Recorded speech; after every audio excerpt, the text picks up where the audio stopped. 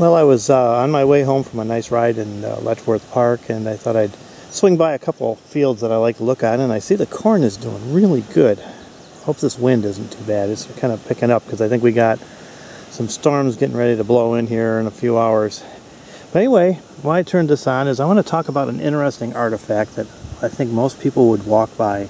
Well, I almost did because this shouldn't be right here because what the purpose was would be used about a little over a mile away from this campsite.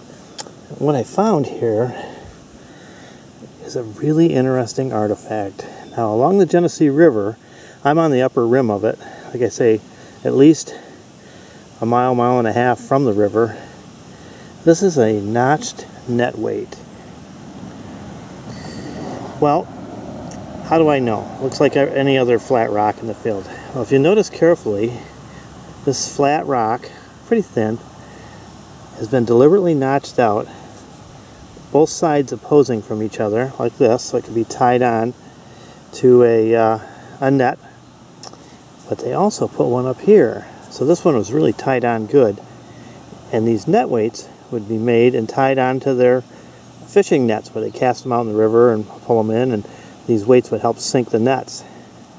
It's quite an interesting artifact when you look at it because it's so simple and I've made these before but it just goes to show that um, wherever you are looking if you're on a site that you know is a site be open for anything uh, to find because if I was just looking for flint I would have walked right past this but this stuck out like a sore thumb here um, you know these these are some of my favorite things to find are these hard stone tools.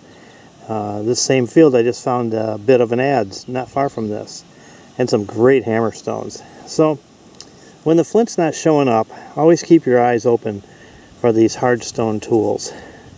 And this net weight uh, is a real prize to me. I'll cherish that take it home put it with the collection of rescued artifacts.